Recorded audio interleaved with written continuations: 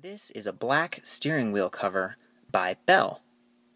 You can see here it doesn't really have any patterns on it. It's kind of generic, and I like that because it blends in with your vehicle. It's very easy to put on.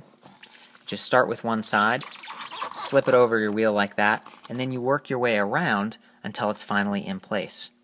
And this one actually has a nice grip pattern inside, so once it is on, it doesn't slip around.